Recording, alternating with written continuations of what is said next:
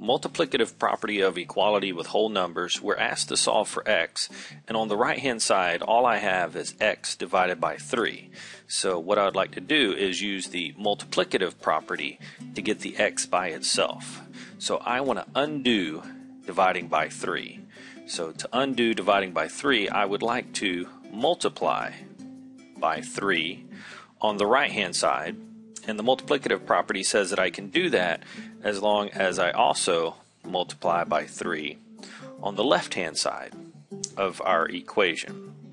So what that does for us is on the right hand side, the 3's will actually cancel because I'm dividing and multiplying by 3. So that leaves me with just our x. And then on the left hand side, I've got 48 times 3 so that gives me 144.